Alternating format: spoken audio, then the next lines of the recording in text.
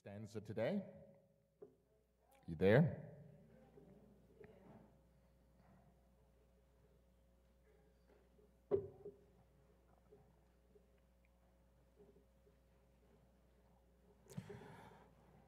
All right.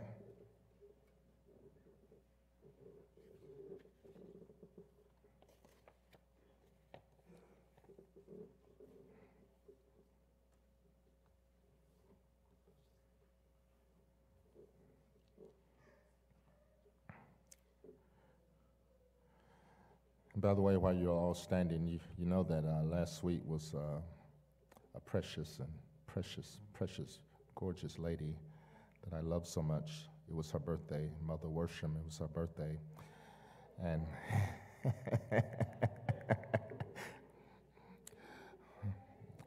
and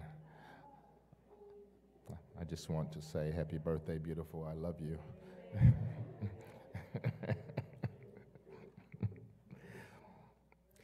she is precious to my heart.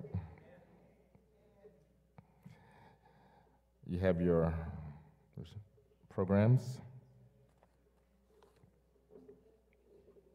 So read it responsively, okay? Your word is a lamp to my feet and a light to my path.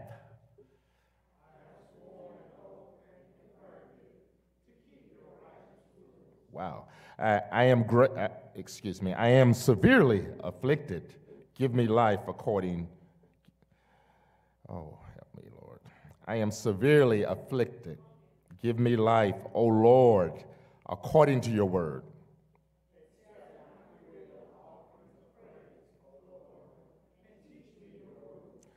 I hold my life in my hand continually, but I do not forget your law.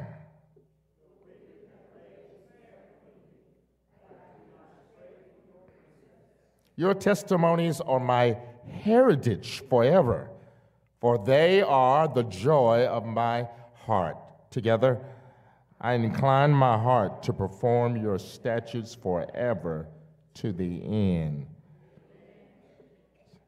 This guy's serious, isn't he?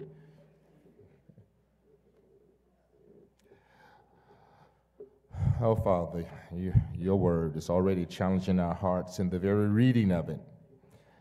So we, we run, we make haste right now to your throne of grace, seeking the grace of illumination in this time of need. We need to understand what you're teaching us today. So teach us, dear God. Teach us through your servant. Teach your people. Illumine our minds. Open our hearts to not only understand, but to receive your word joyfully and graciously and willingly, Father, so that obedience to you flows from a heart of joy and love over you and your word. Oh, Holy Spirit, work as we saw on last week. You, you are the only one that has access to the heart. You are the teacher. Preach today, teach today through your servant. Give me grace to say what you intended to say. So, what your people hear it's not the word of a man, but the truth. Your word, the word of the living God. I pray and I ask in Jesus' name. Amen. Just before beginning, I want to read to you a Calvin's prayer for illumination before the sermon that he would preach. Here's how Calvin would praise.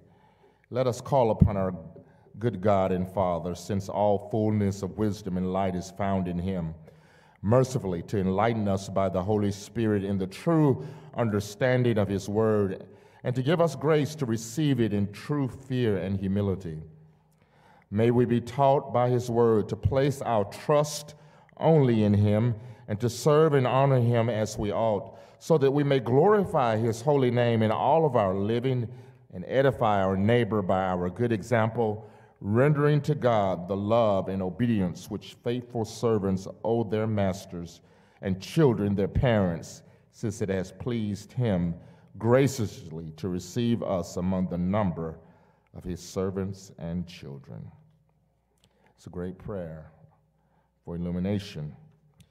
That's how Calvin would pray before the sermon.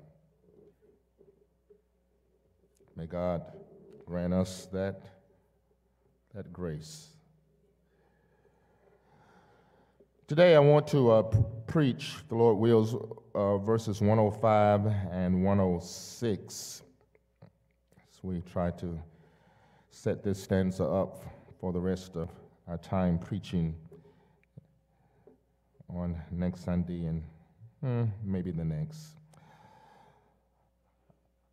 I want to I want us to look at this theme together godly determination. Godly determination. What kind of determination? Godly determination. Remember, each stanza begins with the letter of the Hebrew alphabet. Remember that? This is the nun, okay, in the Hebrew. And it actually pictures the improbable. It pictures a fish standing on its tail. This alphabet represents total concentration. The plan of God, which calls for believers to reflect the glory and exhibit the power of God, requires absolute concentration from the people of God on the Word of God. We are exhorted to bear down with our, with our minds on Jesus, the apostle and high priest of our confession, to fix our eyes on Jesus, the author and finisher of faith, and to reflect on Jesus so that we may not grow weary and lose heart. That's the Hebrew alphabet that actually begins this stanza. That's the picture. That's the idea. That's what it communicates. Now, this stanza follows naturally from the last as well as the one before that, okay?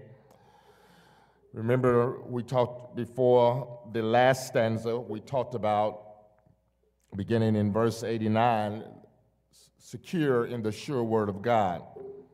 So, uh, we move now from stability, and then the last stanza was on wisdom. We move from stability to wisdom to godly determination. In the last stanza, remember, he rejoiced in the greater wisdom of the Word of God, a wisdom that we saw clearly leads to a changed life. Now he affirms forcefully his godly determination to walk in the way of the Lord or in the way of the Word. I want you to hear that, that, that this is indeed his tone in this stanza. I want you to hear that. We, we hear the tone, I'm saying, of godly determination in this stanza. Notice the tone we hear. We hear it in verse 105. We hear to walk by the light of the word. A determination, right? In verse 106, we see an oath sworn and confirmed to keep the word. In verse 109, we hear him saying, I do not forget your word. In verse 110, we hear him saying, I do not stray from the word. And above all, and climactically, in verse 112, he says, I incline my heart to perform your statutes forever to the end. This is a language of godly decision, godly determination. Do you hear that? Your tone is all over this stanza.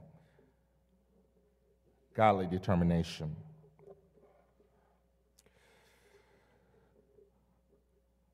Let's look at what this means. Only looking today again at verses 105 and 106. First, first of all, I want you to see the, the Christians, the Christian's testimony concerning the illuminating Word of God. The Christian's testimony concerning the illuminating Word of God. The Christian's testimony, you know, when we talk about illuminating, we're, we're, we're, ta- we're talking about God's Word being a light to our path, a lamp to our feet.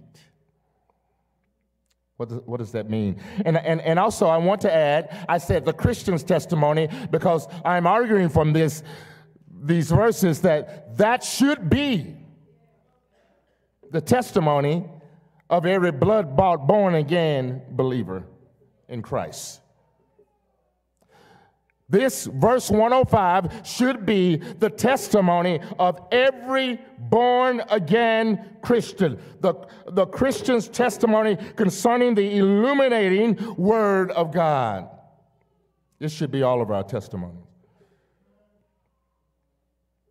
Your word is a lamp to my feet,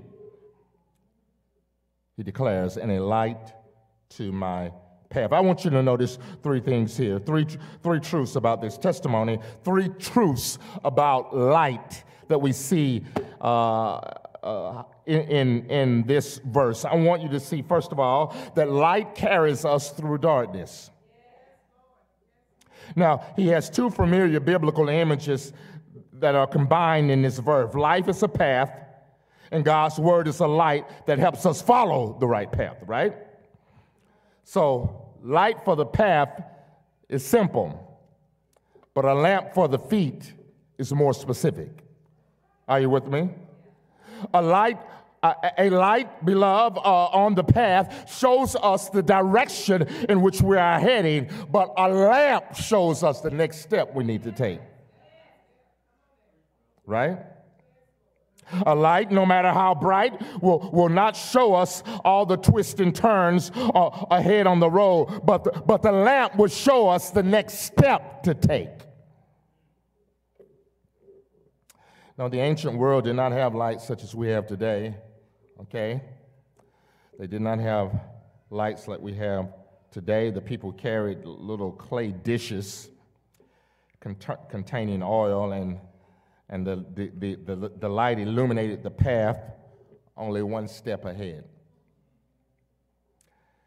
We do not see the whole route at one time. The Christian life, we walk by faith, right? And we walk by faith when we follow the word of God. Each act of obedience shows us the next step until we eventually and finally arrive at our final destination, which is heaven. Now, I know we're told that this is an enlightened age, but actually, we do live in a dark world. We live in a dark world. And only God's light can guide us righteously through the world. See, obedience to the word of God keeps us walking in the light. I want you to see this. Turn quickly to 1 John. 1 John. Chapter 1, verses 5 through 10. This is the message we have heard from him and proclaimed to you that God is light and in him is no darkness at all. If we say we have fellowship with him while we walk in darkness, we lie and do not practice the truth. But if we walk in the light as he is in the light, we have fellowship with one another, and the blood of Jesus, his son, cleanses us from all sin. If we say we have no sin, we deceive ourselves, and the truth is not in us. If we confess our sins, he is faithful and just to forgive us and to, and to cleanse us from all unrighteousness. If we say we have not sinned, we make him a liar, and his word is not in us all I want you to see there is this. Verse 7 But if we walk in the light as he is in the light, we have fellowship with one another, and the blood of Jesus Christ keeps on cleansing us from all sin. See, beloved, obedience to the word of God is walking in the light. If you're taking steps in the dark, you can't see, you can't see what's in front of you. And you become unsure of the next step, don't you?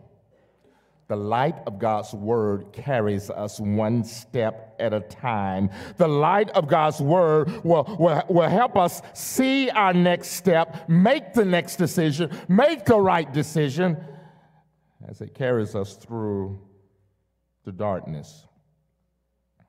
So we know the Bible does not unroll the whole map of life before us at one time.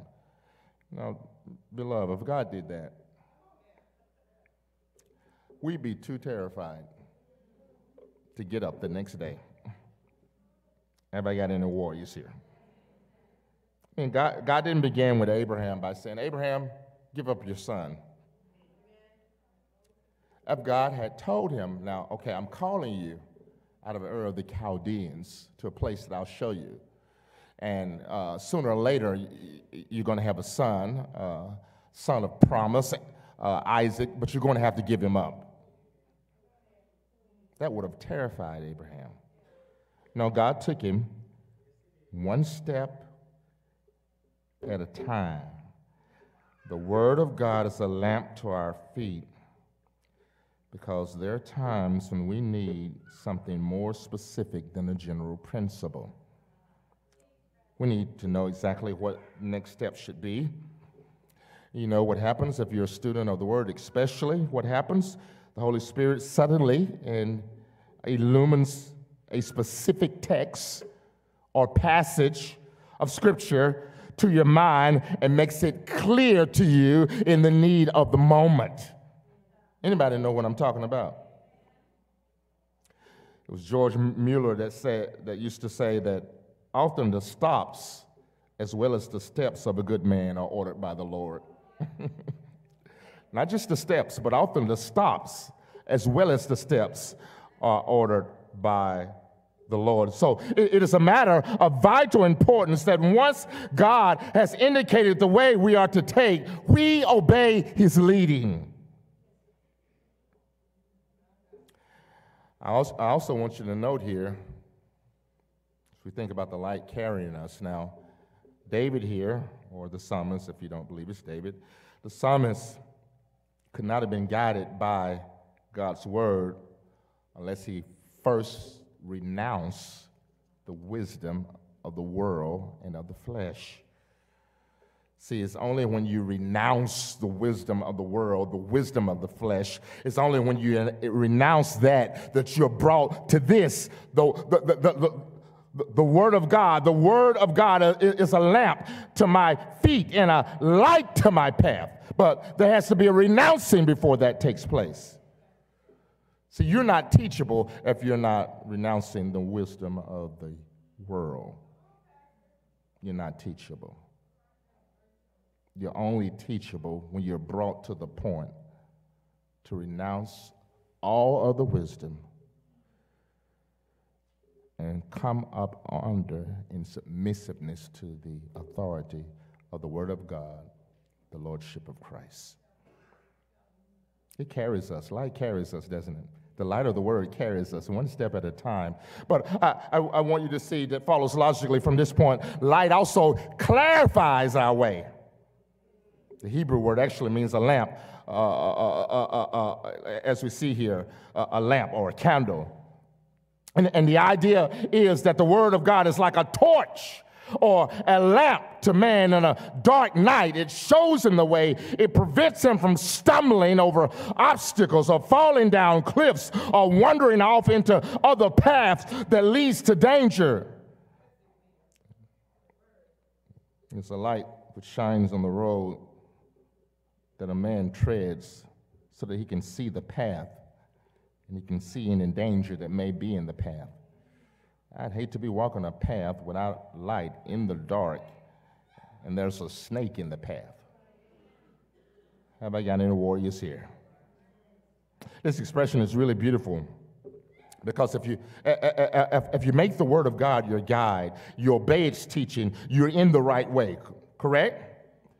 So if you're in the right way, obeying the word of God, then, then you can clearly see the path, right? So, so, so you'll be able to mark the road that you ought to take, the, the way you ought to go, but also you'll be able to avoid paths that you shouldn't be on. I want to know the right way to go, but I also want to want to avoid the wrong way. So I need the clarity of God's word. Now I wear glasses, but you know, when I'm trying to read the small print on the back of bottle, you know what I do? I hold it under the light so I can see it better. Sometimes we want to see things clear where you, you know where you need to hold it? If you want to see it clear, need to hold it under the light. I don't have clarity regarding this moral decision or regarding what I should do. You need to hold it under the, under the light.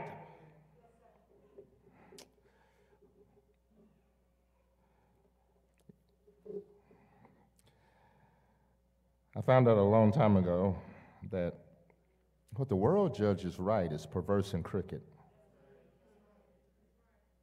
The manner of living they approve of is perverse and crooked. We need that which is framed according to the law of God, the Word of God.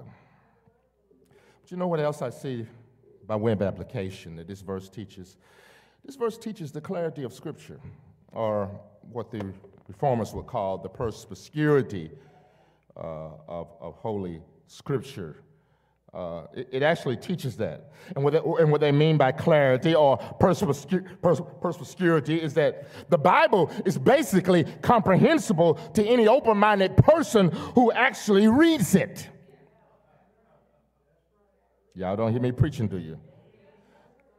They, were, they, they, also argued that not, not all parts are equally clear and easy to understand, but, but, it, but it, and it is helpful to have wisdom from others in, in, what they have seen in the Holy Scripture to be taught by others. But what they are arguing is at, at, at the core, the Bible can be understood, and Christians do understand it. Right? Am I talking to anybody in here? It's clear. Let me highlight that point a little bit more as the Spirit, doing, doing it right now, just brought to my mind. He just brought to my mind, the Spirit did it. Uh, uh, Psalm 19. Go to Psalm 19. I think it's verse 9.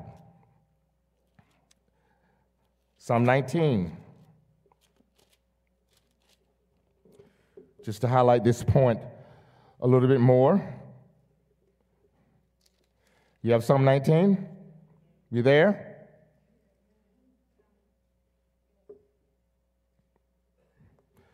Let's start at verse 7, okay? I think it's verse 7 that I actually want anyway. The law of the Lord is perfect. That's the word of God. The law of the Lord is perfect, reviving the soul, doesn't it? Watch this.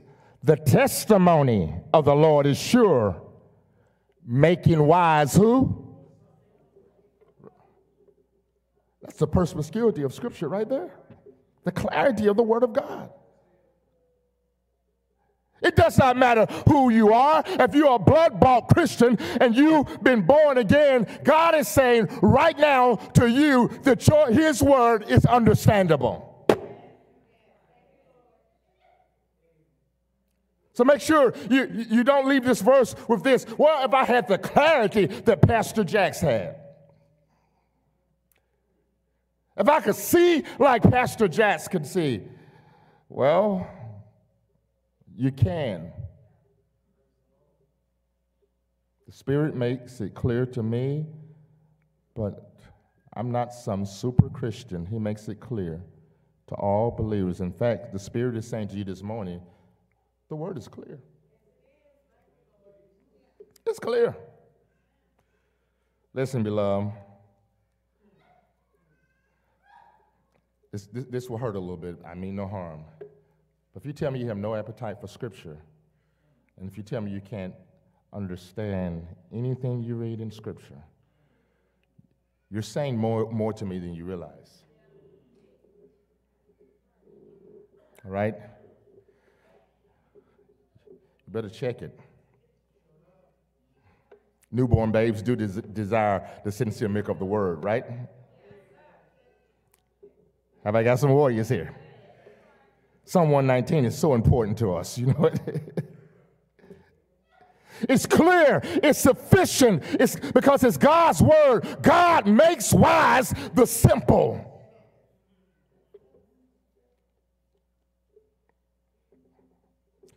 So light, light clarifies the way, doesn't it? no Christian can have the excuse that that that that that that that the reason I don't walk in the path because I don't have clarity. Don't you have a lamp? Right? These lamps are easy to come in contact with. They're all in the bookstores. They're, they're all they're, they're, they're on your phone. They're, they're on your computers. Right? I, I've got about 15 of them in my office. Light clarifies the way. But I want you to see a third thing about light. Light is crucial. It's crucial.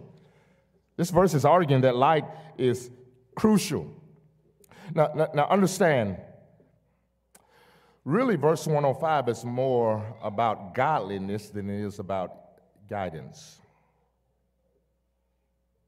In fact, in fact, the words lamp and light are associated not really with God, guidance as a topic, but rather with covenant safety in the context of danger. that is, the lamp and the light are needed to keep the believer from straying off the path and into danger.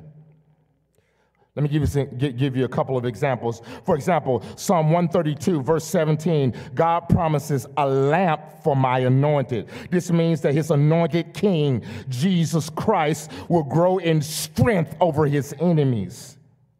He'll be kept safe. Covenant safety.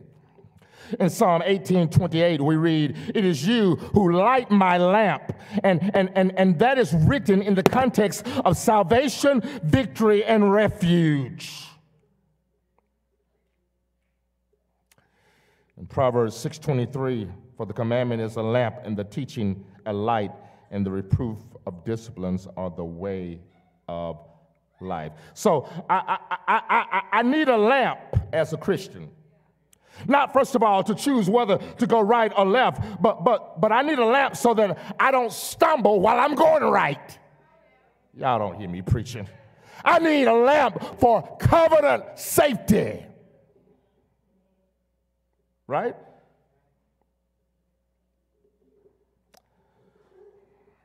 So he's not talking about career guidance here, okay? But he's talking about a lamp to keep me walking in the right way, to protect me from the traps of darkness. Right? To keep me from falling into sin. Right? You know, when the devil tempted Jesus the Lord, guess what was a lamp to his feet and a light to his path? The Word of God. Right? Jesus kept saying, it is written. Turn these stones into bread. What's the next step, Jesus? Well, it is written. Man shall not live by bread alone, but by every word that proceeds out of the mouth of, of God. Use the word of God. Beloved, unless the word of God enlightens your path, the implication from this verse is your whole life is enshrined in darkness, obscurity. All you can do is just miserably wander through the world. But when the Word of God is your lamp, you're not in danger of going astray. I didn't say you wouldn't have difficulty. I didn't say you wouldn't have opposition. I said when the Word of God is your lamp, you're not in danger of going astray right? I didn't say you wouldn't have difficulty. I didn't say you wouldn't have opposition. I didn't say there wouldn't be persecution. I didn't say there wouldn't be problems. I didn't say there wouldn't be trials.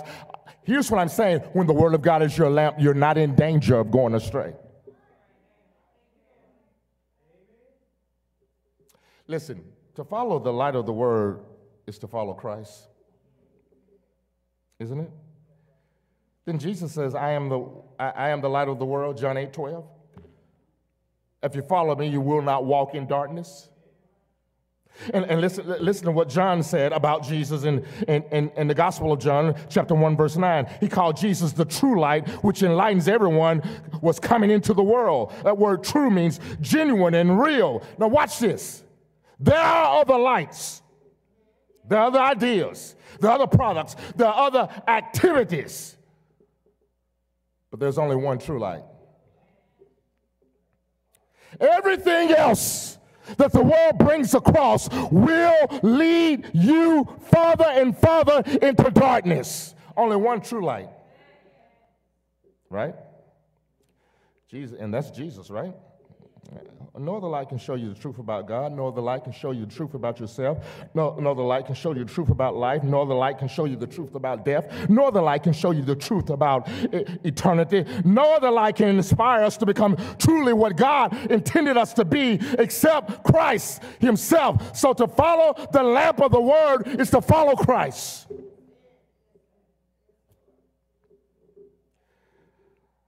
Some psalmist David said in Psalm 23, verse 3, he, he, leads, he leads us in the paths of righteousness for his name's sake.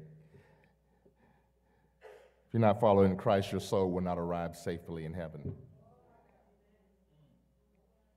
All right? Boy, light carries us, doesn't it? The light of the word, it clarifies our way. It is crucial because without it, we're in darkness. Is that your testimony then? I'm just asking. My point is the Christian's testimony concerning the illuminating Word of God. Uh, will you at least agree with me that that must be, truthfully, every Christian's testimony? Because I, I have no way, I don't know the next step. I'm not clear and I'm in darkness. That's how crucial it is without the lamp of God's word. I want you to see a second thing here in verse 106. I want you to see the Christian's resolution, the Christian's resolution in view of the illuminating word of God. You can't have a testimony without a resolution that follows, right? Oh, you quiet now.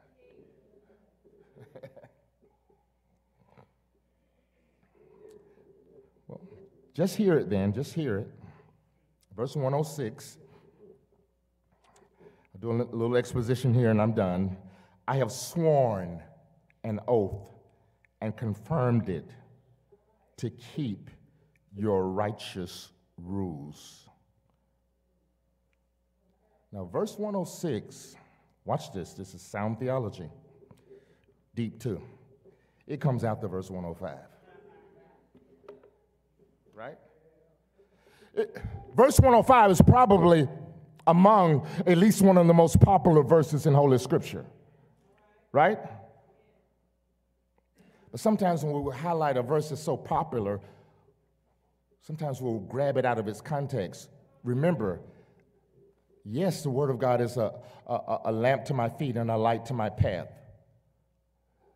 But the psalmist went on to say, in view of that, I make a resolution. Right?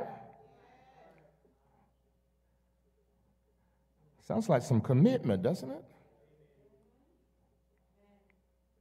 Okay, I'll, need, I'll show you two things about this commitment. And number one, number one, number one, I want you to see the intensity of Christian commitment. The intensity of Christian commitment. How intense is this commitment? I have sworn an oath and confirmed it. Now I hear you. Pastor, this Old Testament. I'm coming. I, I, I, I want you to hear what he's announcing. He's announcing his deliberate purpose to conform his life to God's word, right? This is his conformity of life to God's word. Now, you, have already heard the aspiration of, uh, uh, of that really in, in, in the, uh, in the first part of this stanza in, in, in verse 105. You heard his aspiration. The word of God is a lamp to my feet and a light to my path, right? I, I, want your word to, to guide me on the way. I want godliness. I want your word to show me the way through this dark world. But now, notice he deliberately purposes to conform his life to God's word. This is important. I've sworn an oath. That's actually one word in the Hebrew. It's one word. It does mean to swear, to bind oneself by an oath. The sense of the word is to promise solemnly, usually invoking the divine witness, God Himself, regarding your future acts of behavior. Right?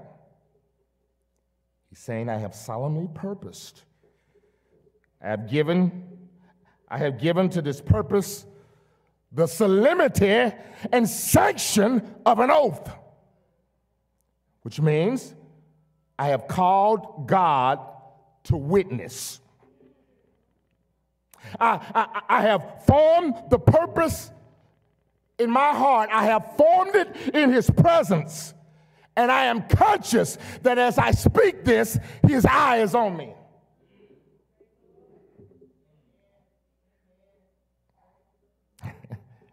Now, listen, because of the way some Christians have misunderstood what Jesus taught in the Sermon on the Mount, some Christians are afraid of vows and oaths. Yeah, you remember Jesus said, I, I, will go there for you, okay? I'll go there for you. You remember Jesus said, Let your yes be yes and your no be, be no, and anything beyond that is from the evil one. That's what he said, right? And many well be well-meaning, Bible-believing Christians have thought, oh, Jesus is teaching that we should not take vows anymore. Well, if that is the case, what do you do with Luke 22, verses 14 through 19, where Jesus takes a vow twice? Right? Right? Well, what do you do with the passages in the book of Acts where Paul takes vows? What do you do in the book of Hebrews when God Himself swore by Himself regarding the covenant of grace? He swore by Himself because He could swear by no one greater. Right? What do you do with that, right? So, in the Sermon on the Mount, it's clear to me because the Bible cannot contradict itself. You know why? Because it's the Word of God. The Bible cannot contradict itself because it is the Word of God. So, it's a misunderstanding of Jesus' teaching in the Sermon on the Mount to say that Jesus is saying that vows are wrong and Christians shouldn't use them anymore. This might hurt a little bit. Sometimes we have to stay away from vows because we stay, like to stay away from commitment.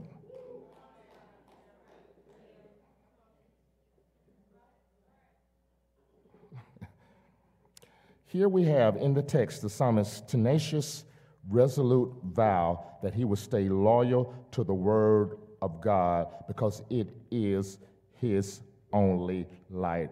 Oh, how we need to make such commitments today, Christians. So often we're, we're loyal to our changing feelings, to our childish thoughts, to our humanistic ideas, and even to our church traditions. We need to make a commitment to keep the word. We have never needed a resolve like this more than more since the days of the Protestant Reformation. Saints, we compromise truth, we capitulate error, we contradict God's very words. There needs to be some intensity in our commitment to follow Christ right? It needs to be an intensity so real and so genuine until we are willing to make commitments to the Lord, calling on God Himself as our witness. Right? Come on, this is passion right here, isn't it? This is passion for the Lord. This is passion for His Word. And, and passion is a strong emotion that rises up from, from somebody's heart because they have such an enthusiasm and a love in their heart for the glory of God, the supremacy of Christ. This is intense enthusiasm for the truth. This is a passion for the truth that, that comes out of deep convictions about God, about Christ, about the gospel, right? This is an intense commitment. Would you agree with that?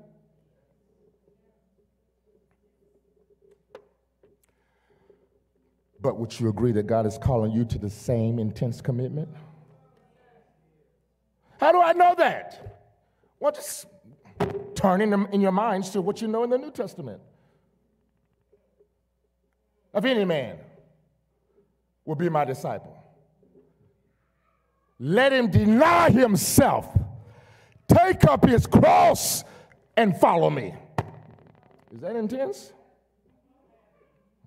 Pretty intense, isn't it?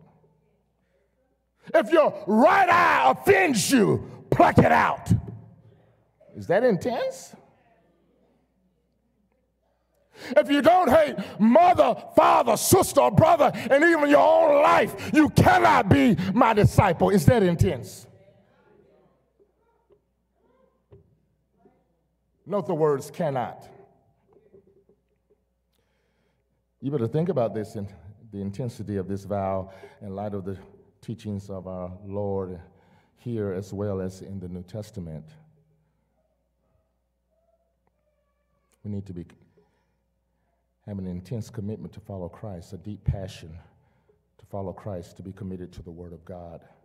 But I want you to notice not only the intensity, I want you to notice another I. Notice the intent of Christian commitment. What's your intent? We see your intensity. He takes an oath in the very presence of God, calling God as a witness with God's eye on him.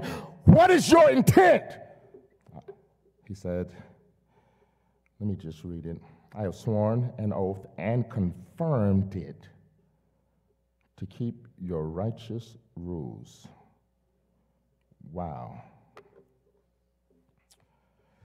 The word confirm means to arise, to stand up.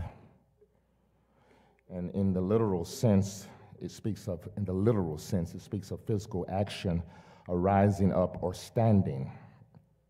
But there's a figurative sense to the word as well that we actually see here that I, I can illustrate. You remember when Balaam tells Balak in Numbers 23 18 to rise up to receive God's oracle. Well, Balaam was not telling Balak to, to rise from his seat because he was already standing by, uh, by his burnt offering. But, but the sense is that he would raise his attention, stir up himself with all diligence to hear what he was about to say. And I'm saying to you, he's saying, I'm stirred up in my diligence.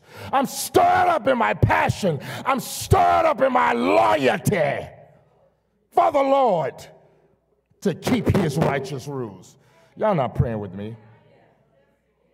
Listen, here's what he's saying this is not a mere purpose in my heart. I'm going to do this. Ooh, come here to me. This is not a mere purpose in my heart. He's saying, I am going to do this. Right? Now, this might hurt a little bit, but I'm going to say it. This is also the resolution of all who make a true profession of faith in Christ. Listen, you've been saved is your intention, right? It's your intention, it's your solemn determination to carry out your commitment to its full accomplishment, right? And you want to carry that out always, right? Every place, right? While life lasts, right? Forever, right? Come on, I'm not talking to churchgoers here, I'm talking to Christians, right?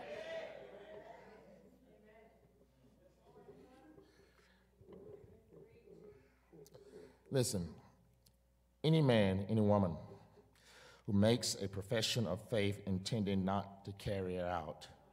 It is clearly impri- implied in this text. It is clearly implied if you make a profession of faith with no intention to carry it out, you are a hypocrite. You know what a hypocrite is? A play actor with a mask on. You know why they have the mask on? Because they're pretending to be something that they really are not. Have I got any warriors here? See, unless there's a solemn purpose to, to keep the law of God and to always keep it, to defend the truth of the Word of God to the best of your knowing and always defend it, you cannot possibly be a friend of God.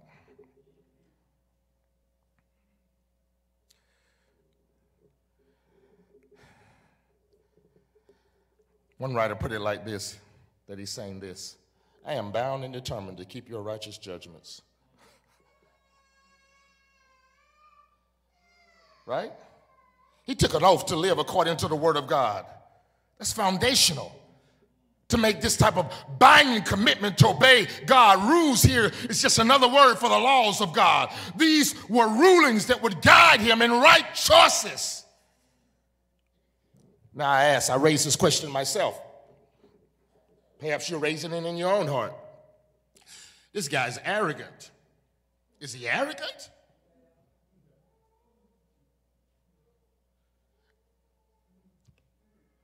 Oh, okay. He's in the Bible. Let's get a guy that's not in the Bible. Am I arrogant? If I say,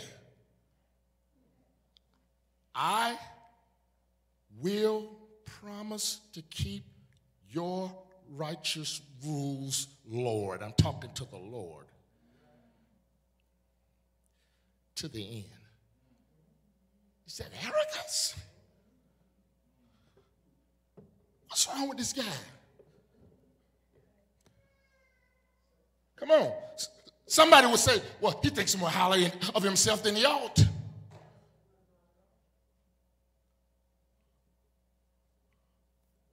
No, he's not arrogant. Watch this. Because when God saved him, he put that intent in his heart. Y'all don't, y'all not praying with me. Y'all go, go on home. You ain't praying with me. Right? See, it's not arrogant, especially if it's done by a believer in the spirit of faith. And you're praying Second Thessalonians 1 11. Remember, uh, you want God to fulfill the vow you take. Now, here's what I'm saying make the commitment and pray for grace to keep it. Right? This is God given, grace enabled purpose of mind that, that, that He will turn to the Word of God as His lamp. Are you with me?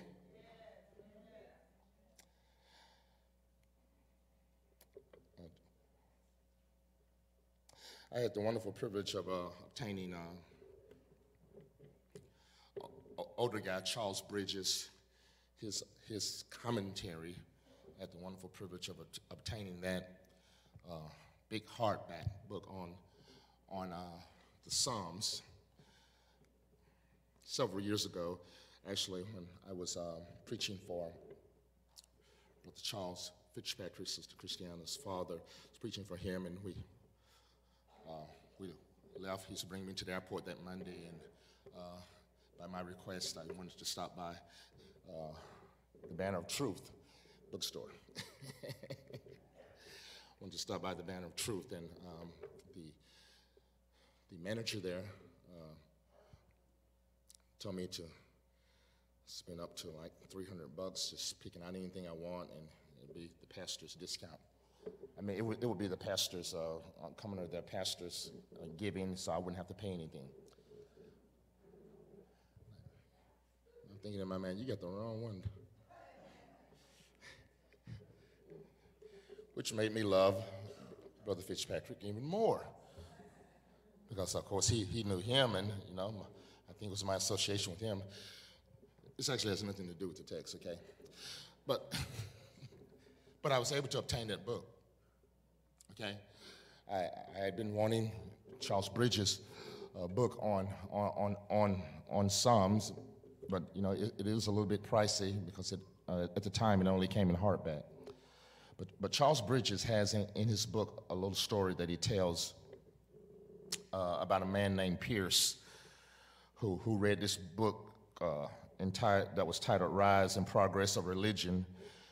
And from it, he, he decided to uh, live a more dedicated and obedient life. He wrote out a covenant with God, and in a very serious and solemn way, he signed it with his own blood. It wasn't long until he started failing in his commitment to the covenant, first in small ways, and then more and more. And that plunged him into deep distress, almost to total despair. Then he considered that the arrangement he had made with God was actually legalistic and Pharisaical, especially in the way that he relied on the power of his own vows and resolution. So he took the covenant to the top of his house, tore it into small pieces, and threw it to the wind. But but yet he, he, yet when he threw it to the wind, he didn't he didn't he did not feel himself free from the promises that he had made. Only now he was of the mind to rely to, to rely not on himself to keep his promise, but on the blood of Jesus and on the indwelling Holy Spirit and he found out that he experienced a lot better results and had a lot more comfort and a lot more restoration even when he failed. Here's all I'm saying. Here's all that Bridges is saying by telling that story. Make the vow, make the commitment, but rely on the Spirit. And here's what the psalmist is saying though the intent ought to be in your heart. You saved. You redeemed. You blood bought. You washed in this blood of the Lamb. You experienced amazing grace. How sweet the sound. Save a wretch like you. Once was lost, now found. Blind, but now I see.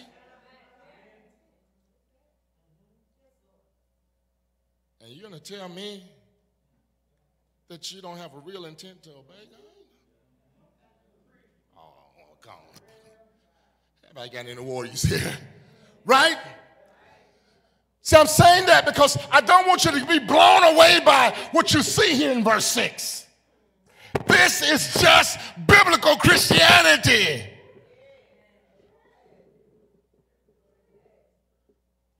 Christians are supposed to be committed to the Word of God. Right? I'll close with this. You know, uh, Pastor, you give me a little more motivation. Well, I give you enough, I think, but you have the indwelling Holy Spirit, right? Okay, I'm gonna give you, I'm gonna give you a little more motivation, and I'm going to the seat. All right?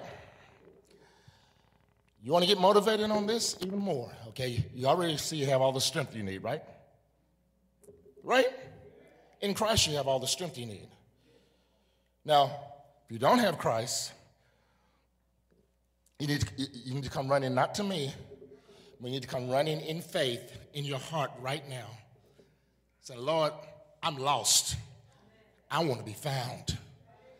Lord, I want to put all of my trust, total reliance, total trust in you right now. I believe that you died. I believe that you rose again. I believe you, that you are who you say you are fully God, fully man. I believe that you died and paid the penalty for all of my sins. I believe that you rose again the third day. I repent of my whole life because it's been wrong and I trust, I rely totally on Christ.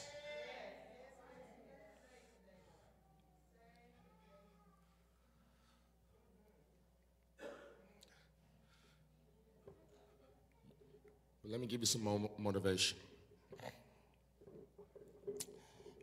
My argument in giving this motivation in closing is this the motivation for making a commitment to, to Christ should and ought to flow out of the commitment He's already made to you.